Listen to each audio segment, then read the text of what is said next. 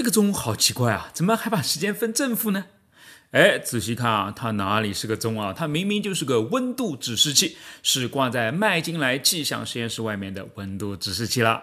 位于美国佛州埃格林空军基地内的麦金莱气象实验室是迄今为止世界上规模最大的气象实验室了，有八个大型工作间，可以模拟全球三十多种不同的极端气候和天气。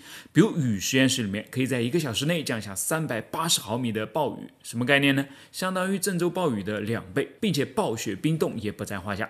比如风实验室，从风平浪静到刮起每秒三十米的飓风啊，只需要用时三分钟。比如气温实验室，可以将室温在零上八十到零下四十度之间呢自由切换。比如雷电实验室，是晴空万里、微风和煦，还是乌云密布、电闪雷鸣，只需要一个切换按钮就搞定了。哎，还比如沙漠实验室，一百四十盏高能太阳灯创造出来的酷热沙漠啊，与真实的差别只能让你怀疑人生。好，对了。这里的海洋实验室也绝对惊人啊！水面面积六平方公里，相当于四千八百个奥运标准泳池，最深可达十五米，水温、浪高都是可以自由调节的。